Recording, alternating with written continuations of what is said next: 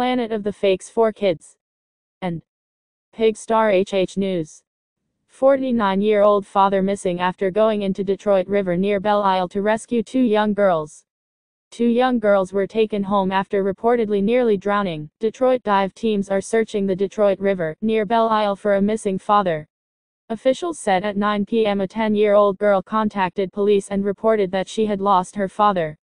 Troopers and DNR officers responded to the scene within minutes, officials said. When troopers arrived they were told that 30 to 45 minutes prior the girl's father, a 49-year-old man, and several other people went into the water to save two young girls from drowning. When the girls were safe their parents took them home. In the time after the incident, the 10-year-old girl realized she couldn't find her father. It is believed her father may have been dragged underwater by a rip current. Officials are still searching for the missing 49 year old man. The girl has been united with her grandfather. Full link in the description. Like, follow, share, subscribe, and comment, hit the bell. And if you have time, thank you very, very, very much. Go to www.amher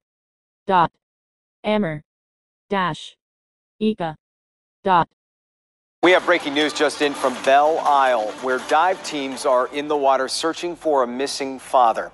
State police say around 9 p.m. they got a call about a 10 year old girl who couldn't find her father.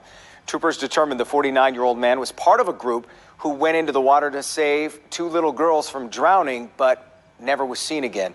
Troopers believe he may have been dragged underwater by the rip current without anyone noticing. Detroit police now have a dive team trying to find him. Stay with Local 4 and ClickOnDetroit.com as more information becomes available about this story.